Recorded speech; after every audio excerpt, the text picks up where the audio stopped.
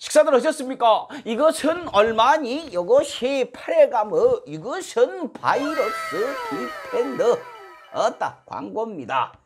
이것이 우리 동네 형이 만든 것인데요. 일산 지역의 한준호 국회의원은 둘도 없는 친구이기도 하고 든든한 후원자입니다. 강성범 TV의 후원자이시기도 하지요. 이것을 지난 3월부터 만들었는데 인자 나왔어요. 왜요? 국가 인증반이라고요. 환경부 인증받는다고 인자서에 나왔다고 합니다. 눈치 빠른 사람들은 인증 안 받고 바로 내갖고 대박들 났는데 참 답답한 형이죠. 항상 뭐 큰 길로만 가야 된다 이 생각을 해요. 예, 그래서 손해는 많이 보지만 거짓말은 못하는 그런 사람입니다. 이것이 뭘로 만들었냐 하면은요 이산화 염소수란 것으로 만들었는데요 현존하는 최고 등급의 살균제라고 합니다. 뿌려놓으면요 소독만 하는 것이 아니고 이것이 실드 효과까지 있다고 해요 저도 쓰고는 있는데 눈에는 안 보입니다. 그런데 뿌려놓으면 일주일까지 간다고 하네요. 이 홈페이지 들어가셔가지고 이 강성범 TV 왼쪽 위에 있어요. 강성범 TV를 클릭하시면 10% 할인 들어간다고 하니까 여러분들 기왕에 소독제 쓰실 거면 우리 편 민주 진영에 있는 민주 시민이 만든 소독제 쓰시는 것이 더 기분이 깔끔하지 않겠습니까? 자, 그러면 일단 오늘도 음, 극우들 못 들어오게 shield 치고 시작하도록 하겠습니다. 척척척척 럭셔리 칼럼 시작하겠습니다. 좋아요. 스트레이트 보셨나요? 요즘 뭐 부동산 정책 가지고 언론과 통합당 아주 대목 만났죠.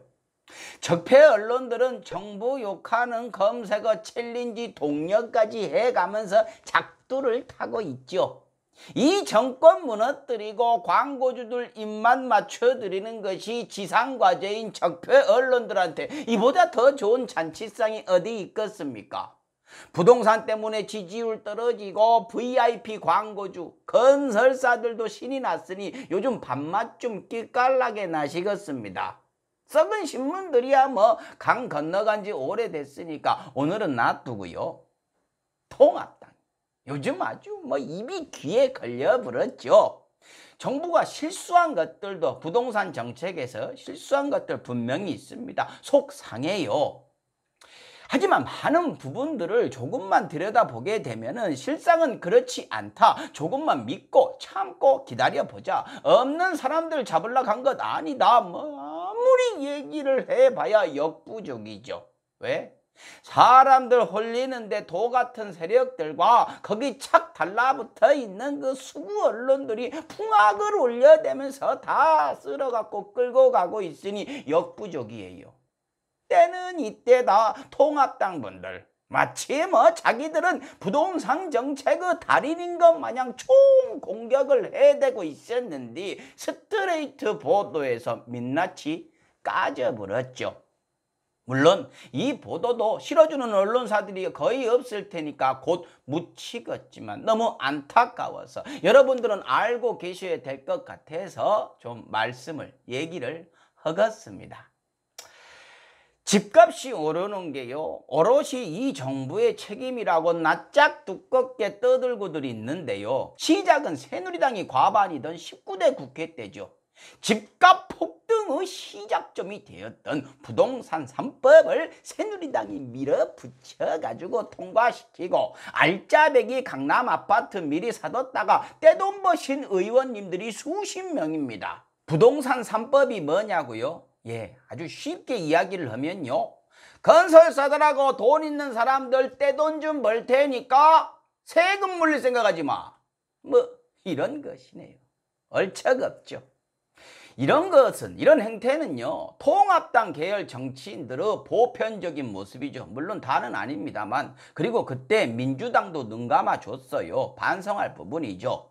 그 당시 찬성이 143표 반대가 25표 이렇게 해서 가결이 됐어요. 중요한 건요. 그때 그거 통과시켜 갖고 수십억씩 배부르게 드신 분들이 앞장서 가지고 저는 순결합니다. 집 없는 서민분들 보면 제 가슴이 찢어져요. 라고 얘기하는 의원님들 확 뺨을 때려버리니까. 그런 사람들이 있어서 더 열이 받는 거죠.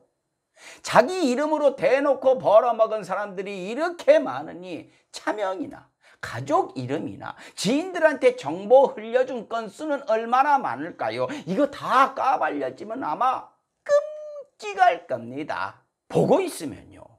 아니 저 사람은 왜 정치를 하지? 왜 국회의원을 하나? 국가와 민족을 위해서 하는 것 같지는 않은데 철학도 없어 보이고 열심히도 안 하는데 왜 정치를 하지? 라는 생각이 드는 그런 정치인들 있죠. 왜 하는지에 대한 해답은 바로 여기에 있습니다. 국회의원이라 얻을 수 있는 한 발 빠른 고급 정보 이를 통한 내 삶의 풍족함 거기에 어딜 가도 대접받는 금배지는 보너스 이것이죠. 이것이 정치의 목적인 정피아들 이런 사이비들 때문에 진짜 정치인들까지 같이 똥물을 뒤집어 쓰는 것이죠. 그런 의미에서 스트레이트에 나온 강남 재건축 아파트 사놓고 부동산 3법 찬성 눌러갖고 돈 벌어먹은 분들 몇 분만 좀 볼까요? 당연히 전부 다 새누리당 분들입니다. 구독 먼저 웃고 갑시다. 이완영 씨. 아, 빠지지를 않아요. 예, 이완영 씨 일단 사과를 드리겠습니다. 저는요, 이완영 씨가 판단이 좀 약한 분인 줄 알았어요. 아니었어요. 뭐, 집에 큰 돈이 있는 건 아닌 줄 알았어요. 아니었어요. 저 같은 놈이 따라갈 수가 없는 분이었어요. 사과를 드리겠습니다. 다음 분은요. 좀 정신건강에 해로우실 수 있으니까 마음의 준비들을 좀 하세요. 김진태 씨. 아따 정말 대단하십니다. 할 건 다 해 가시네요. 총선 끝나고 나서 재건표를 왜 안 하시나 했더만은 재건표 대신에 재건축하고 계셨습니까? 아무튼 덕분에 이번 휴가는 즐거운 마음으로 춘천에 닭갈비 좀 먹으러 갈랍니다. 그리고 같은 춘천 쪽의 지역구를 갖고 계신 한기호 의원도 이름을 올리셨네요. 아, 또 춘천 지역 그 통합당 의원들은 강남 사람이 아주 특별하십니다. 한기호 의원이요. 얼마 전 문재인 대통령한테 대통령직 내놓으라고 하셨죠. 본인 불로소득부터 좀 내놓으시죠. 다음으로요. 유승민 의원도 있네요. 솔직히 유승민 의원에 대해서는 좀 약간 안 됐다라는 그런 생각을 좀 갖고 있었는데, 예. 저 같은 놈이 걱정할 뿐이 아니었네요. 예, 잘 사시네요. 그리고 하이라이트 또 만났습니다. 주호영 의원님. 한 번에 두 채 장만하셨어요. 한 채당 23억씩 올랐는데 아따 두 채. 그러면서 서민들을 위한 애틋한 마음을 보여주셨죠. 잠깐 연설 보시죠. 우리 서민들은 열심히 벌어서 내 집 한 채 장만하는 것이 평생의 꿈인데 집값은 급등하고 대출은 막아놓으니 이생진망이라고 절규하고 있는 것 아니겠습니까?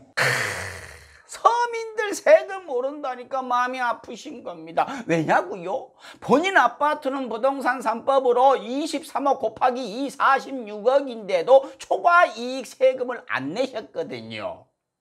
가만 아닐 수도 있겠네요. 그 팔아버렸으면 모르겠지만 안 팔고 가지고 계셨으면요 보유세에다가 양도세에다가 다주택 뭐 이런 거 해갖고 세금 어마어마하게 맡겼는데요 아따 그래서 자기 고백한 것일까요? 아따 본인이 열이 스스로 받은 겁니다 화가 나실 만도 하네요 근데요 46억 그렇게 오르셨으면 이 정도는 웃음 머금고 내실 만도 하잖아요 기분 푸세요 뭐 이렇게 화가 나셨습니까? 다음으로요.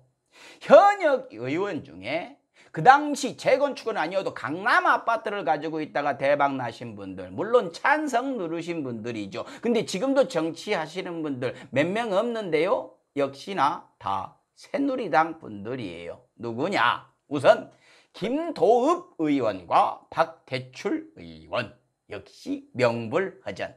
근데요, 두 분은 푼돈 벌었어요. 5억이랑 10억 뭐 푼돈 벌었습니다. 근데 특이한 게 있네요. 최근에요. 이 두 분이 동시에 같은 상을 받으셨어요. 참 괜찮은 의원상. 이것이 어디서 주는 상이냐 하면요. MBN과 한국 여성 유권자 연맹 어, 여기 회장이 펀앤드 마이크 출연. 예, 아 괜찮은 의원상이라 안 받아도 괜찮은 의원상 아니 아닙니다 죄송합니다. 뭐니 뭐니 해도 가장 눈에 확 띄는 분이요 제 입장에서는 이분이었어요. 박 덕흠 의원. 이 박덕흠 의원이요 재산이 500억이 넘는 분이에요. 전 이분은요 돈은 있을 만큼 있으니까 이제 내 인생에서 돈은 됐고 명예를 위해 배지 한번 달아볼까 뭐 이런 분인 줄 알았어요. 아니요 제 뺨을 그냥 후드러 까십니다. 강남 아파트로만 73억을 넘게 버셨어요. 박덕흠 스케일이 더 큼, 액수도 더 큼. 아 죄송합니다. 농담한 거예요. 근데요. 이 박덕흠 의원이 아직도 국토교통위원회에 있어요. 하다 발음도 어렵네. 국토교통위원회. 이 국토교통위원회가 어떤 데냐 하면요. 개발 정보를 가장 빨리 접할 수 있는 곳.